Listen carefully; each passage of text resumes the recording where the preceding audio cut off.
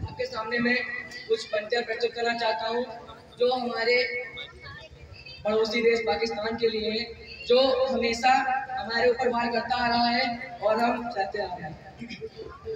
अंधों को दर पर देना क्या बहरों को भजन सुनाना क्या?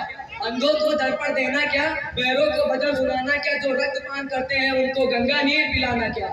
फिर पाकिस्तान के लिए हमने जिनको दो आँखें दी, हमने जिनको दो आँखें दी, वो हमको आज दिखा बैठे। हमने जिनको दो आँखें दी, वो हमको आज दिखा बैठे। हम लगे रहे शांति यज्ञ में, वो श्वेत कबूतर खा बैठे। वे छल पे छल करता आया, वे छल पे छल करता आया। हम अड़े रहे विश्वासों पर, कितने सब कितने समझौते थोप दिए अपने बेटों की लाशों पर।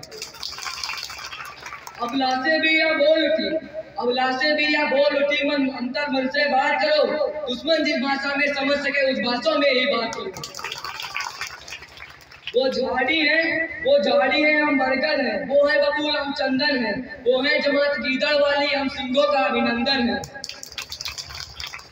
फिर जब उन्नीस में देश का बंटवारा हुआ था तो तुम भूल गए सन सैतालीस।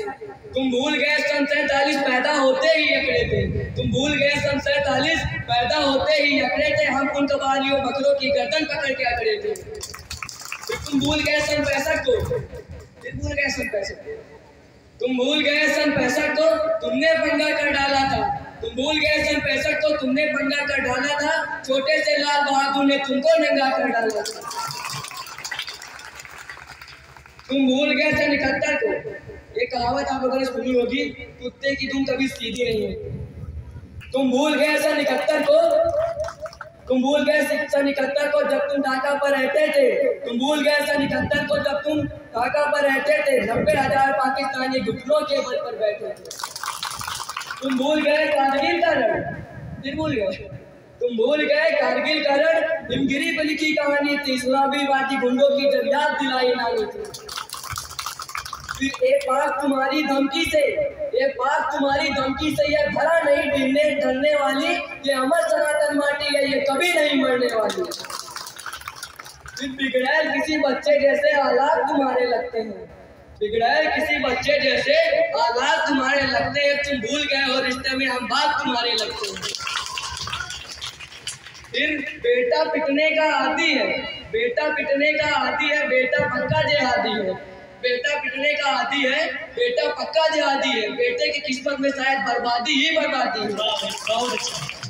तेरी बर्बादी में खुद को, तेरी बर्बादी में खुद को बर्बाद नहीं होने देंगे। हम भारत माँ के सीने पे जिहाद नहीं होने देंगे। तू रख हथियार उधारी के, बहुत बाहर रखा हथियार उधारी के तू हथियार उधारी के हम अपने दम पर लड़ लेंगे। अगर एटम बम से लड़ना हो तो एटम बम से लड़ लेंगे। जय हिंद, जय भारत।